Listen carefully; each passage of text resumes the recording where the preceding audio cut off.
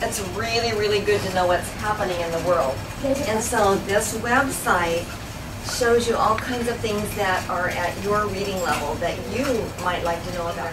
Right here, there's a section called War and Peace. So if we click on that, it's going to tell us what's happening if there's war or things going on with peace. So here's some of the latest things that just happened this week. Here's one talking about Syrian refugees in Lebanon and that it's not a winter wonderland because of all the snow. Here's one that talks about the Pope. He was chosen Person of the Year. And how many of you like science? I thought so. She was right. So here's the latest and greatest of what's happening in science. There's also one called Kids. If you were to read one, which one looks most interesting? Yeah. Uh, the first one, when parents are too harsh, their children's brains may suffer. Yeah, every one of you wants to go home and tell your parents that, right? Don't be harsh on me, my brain might suffer. What one looks interesting to you? Most who take free online courses don't finish them because I've taken online courses and I've never really like finished them. You've never finished them? Yeah. So you've started them. What kind of online courses have you taken? Um, Codecademy. oh, I've cool. learning how to code. Excellent. There's money, there's law, there's health, and there's the arts, right? So go ahead, take out your iPads and open up Safari. Go ahead and click on Safari. And then we'll create an icon on your homepage too, because I have a feeling you're going to be using this pretty often. If you'll go ahead and click on register, and the first thing you need to do is put in a code. For today, we're going to be doing something with the one on the Arctic ice, maybe changing the way hurricanes move. And then in the future, you'll have the opportunity to do different articles. And so here's our end goal. Are you guys ready to know what we're going to do with it? We're actually going to use a an app called Tag Cloud. And Tag Cloud lets you make um, word cloud. Okay, so what's our plan? What are the two main things we're going to do um, today? Yes. We're going to make an um, we're going to go with Cloud. Right, you're going to do Tag Cloud, learn how to create a word bubble or word cloud. What else? We're going to learn about the art, this one article about how the Arctic affects how hurricanes move, how we can make a movie about it. Exactly. So you guys are going to really learn about this article and what's happening in the world, and you're going to be the experts, and then you'll be sharing that. You have some choices. The first one says make a tag cloud from a web page. We don't want to do that. Even though we're going to the web to get our information, we're not going to do that. We're going to do, the second one is make a tag cloud with custom tags. You can go in, put in some words, and if a word shows up more than once, it's going to be bigger. I'm going to go to my camera roll and show you an example. I showed the students a word cloud that I'd already created using one of the news articles on Newsela. We looked at the words that showed up larger and discussed that those were words that were written more than once in the news article. That way, they could see what the article was about just by looking at the larger words.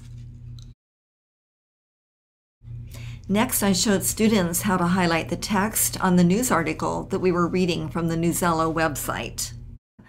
We started at the bottom and moved all the way up to the top.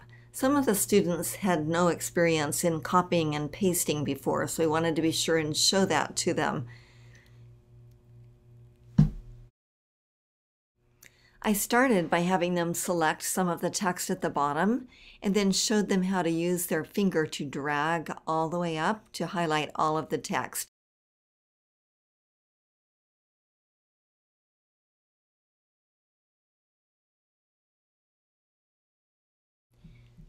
After I highlighted all of the text in the article, I clicked on Copy to save it to the clipboard. After copying and pasting their words, they chose a style that they would like for their tag cloud.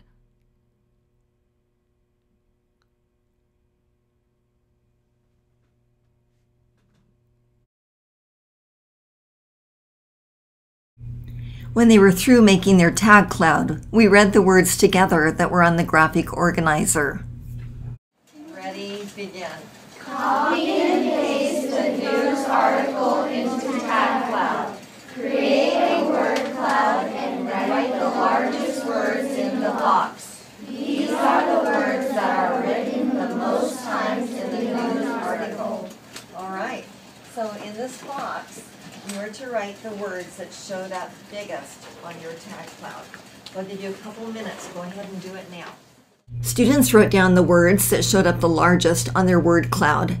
These words showed the main idea of the news article. What we're going to do now, we need to go to the article because if we're going to make a movie on this article, we've got to be experts on what it says, right? If you were to go home today and your parents were saying, Michael, what did you learn at school today? And you could say, well, I read this really cool article about something that's happening with Arctic ice. And they ask you about it, you got to know what it says. Now, you can click save, but you also need to click share because when you click on share, that's how it gets saved to your camera roll. And if you're going to be putting this into your movie, click share. And where it says photo library, if you hear the words photo library, and sometimes you hear the words camera roll, they're a synonym for each other, okay? Mm-hmm. They're synonyms. So sometimes they call it camera roll, sometimes they call it photo library. Just know that they're the same thing. So be sure and click on photo library. And it's saving it now to your photos and you'll be able to see it there, okay? Make sure you click on Safari, it should already be open. And I can just tap anywhere on the white to get rid of my highlight. I don't need that anymore. Okay, so let's do this. Let's see how many main headings there are. Then I'm going to give you a few minutes to read over one of the sections, and then we'll come back together and share what we what we place. If you're having trouble reading the article, you can always go down to 750, and it'll make it a little bit easier for you. Know that you know, this is super easy for you to read, you can even bump up the Lexiles, okay? I know we got some really fantastic readers in here. So, but for now, let's stay on 830, or if you're having trouble, you can go down to 750. And then the last group, if you will look over Hurricane Helper. So you guys are going to read the last part of it. Now you're going to go, well, it might not make sense because you didn't hear the first part, but I think it'll help us for what we're doing today. Does everybody know what to read? Okay, here's what we're going to do now. The group that did the first part, that was this whole table group right here. If you look up here on the computer or you're looking at your iPad, what was it about? Can anybody tell us? Trenton, and then we'll have you join us. It was about how um, when ice when ice is formed, it has to lose heat, so the heat goes up, and when the heat mixes with the airstream, it pushes the airstream southwards, which um, and then it talks about how that can affect hurricanes and the directions they travel in.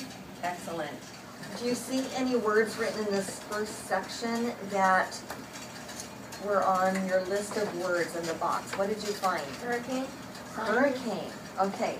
So I'm going to look for the word hurricane. Do you see it up here? Can you come Yeah. show it? Right there. Okay. Next, we looked for words that were found on their graphic organizer and highlighted them using a tool that I didn't really need to use. I was using markup, but right on Newsela, you can highlight the words as long as you're using a computer. If you were just going to take a short little snippet of a sentence that include the word scientist, what would you say? Next, we took one of the main idea words and made a short phrase that told something that was happening in the news article. We wanted it to be shorter than a complete sentence, and we wanted the words to be powerful and to convey a message. As I wrote the words on the board, the students wrote them on their graphic organizer. We did it together for the first time just to show them how it's done. After this, they'll do it on their own. We have to use powerful words because we're not going to use a lot of words and it's not going to be a long movie.